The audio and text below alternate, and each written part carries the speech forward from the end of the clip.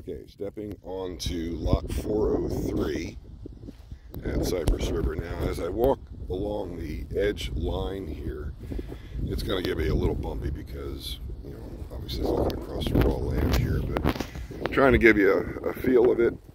Um, if Sue and, and Kev, if you feel like you need me to come back and do something specific, I'm happy to do that. Um, but just to give you a, a feel of what this is right off the bat. So I should have counted how many steps, but uh, I'm already into it. All right, so the long edge of the property does face Route 111.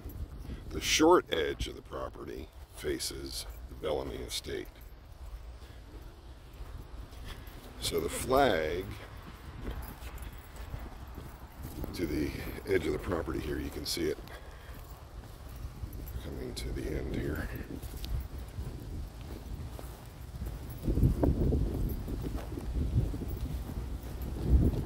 Okay, so those are the flags. And this is the berm that uh, she was mentioning that that Mungo has uh, has established. So I mean, this is pretty thick here. I would say would say it's very thick. Although I can't see a car through there if I peer hard enough. Across the way is uh, road, and then there is um, a house across the way there. All right, looking back. And unfortunately, because I'm in the sun, it is very difficult to see my my phone screen, so I'm going to try and keep this as steady as I possibly can. There is a drain at the end of the uh, lot here.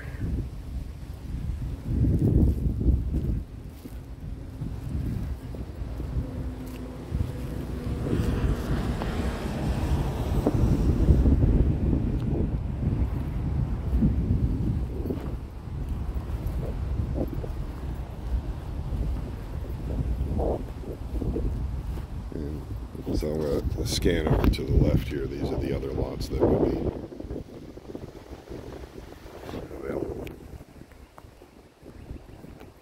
I hope this is uh, useful for you. It is a little sometimes hard to get depth perception and um,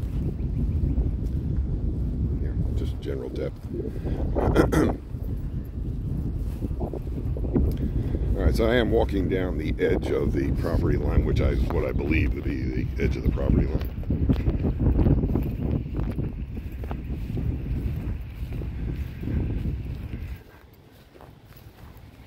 So it's kind of thin, I would say, on the front, because it is definitely a pie-shaped. So what's that, about 60 feet across the front, and then whatever it is on the backside. There is a, a sewer drain here street and then looking back again. All right, I hope that feels uh, like it was worthwhile. So just let me know and we'll talk. All right, see you guys.